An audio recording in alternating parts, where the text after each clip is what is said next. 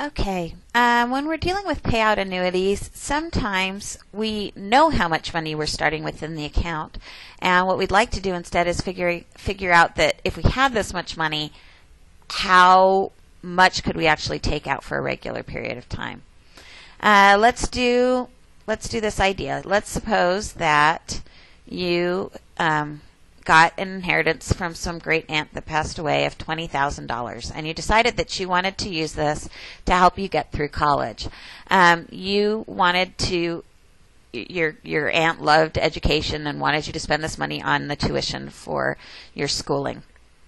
So the idea here would be that you figure you're going to be in college for 4 years. Let's do it with 4 years this time. Um, and every quarter what you do is you would like to take out money to pay your tuition. So spring quarter, summer quarter, fall quarter, winter quarter. Um, so this is the goal that we'd like to do. Um, currently, it's sitting in that three percent interest account. We've been having fun with that amount there. And what we'd like to do in this particular case is we would like to see how much can we withdraw every quarter. So how much can we apply towards tuition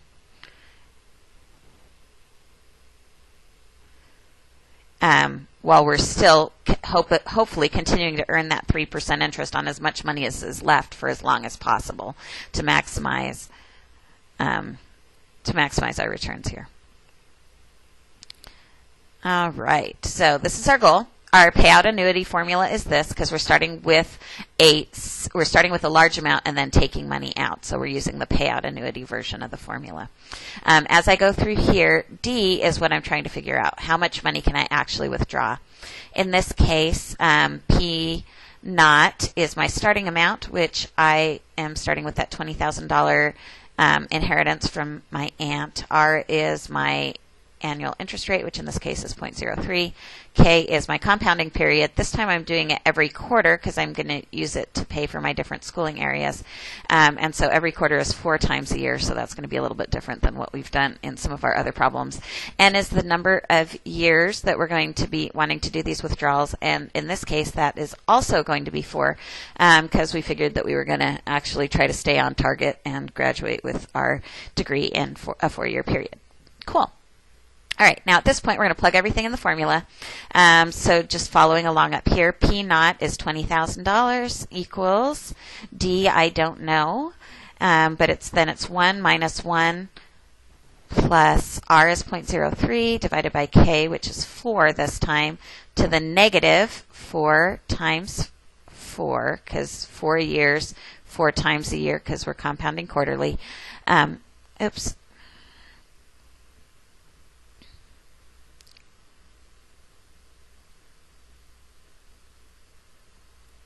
Let's see here. There we go.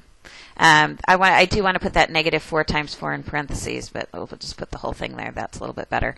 Um, close that off, and then it's all divided by r divided by k, which was 0.03 divided by 4, which is the number of compounding periods. So here's my equation. Uh, just like before, notice that we want to solve for d. It's, there's only one d. All of this is together. There's it's d times this divided by this whole big thing. Um, the easiest way to do that is just go ahead and evaluate all of this stuff together because it's d times by all of that. Um, and so if we can evaluate that and get a simpler problem, and then we can solve for d from there. So that's the strategy I like to generally use with this sort of thing. All right, this we can just all enter very carefully and conscientiously with our parentheses, but we can plug that whole thing in on our graphing calculator. So let's clear our screen and look at what it happens. We start with the parentheses on top there, 1 minus, and then introduce a second set of parentheses. Then it's going to be 1 plus 0.03 divided by 4. Close the parentheses, and now I want to raise this um, 1 plus 0.03 divided by 4. So use the caret button to take that to a power, and then use the parentheses to make sure everything gets in the exponent there to the negative 4 times 4. Close the parentheses, and if you're physically high, then use that arrow to get back down to the main level again.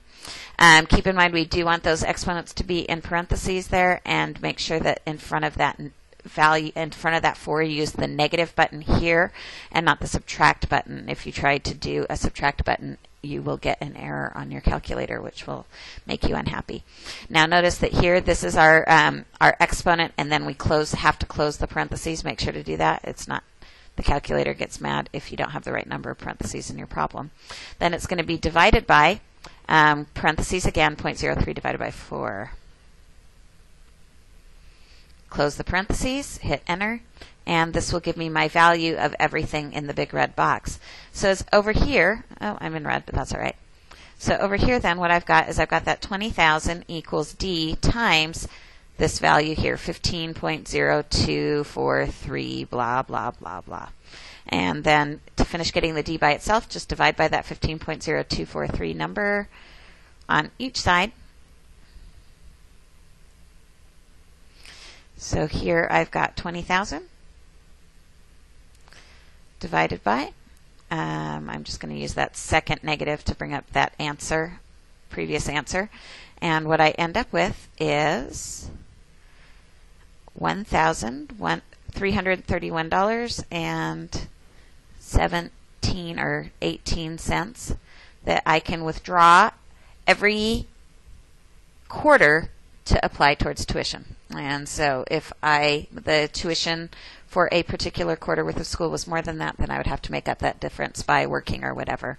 Uh, but to balance the value of my aunt's account over time and take advantage of that interest so that it's continuing to earn interest as I make my withdrawals, this is the magic amount that you would want to pull out. Um, and that would give you the amount that your annuity was going to provide you with each quarter because um, we were using that k equals 4 for my withdrawal times here. Um, all right, so with that, give that last payout annuity problem a whirl, and then we'll come back and talk about loans.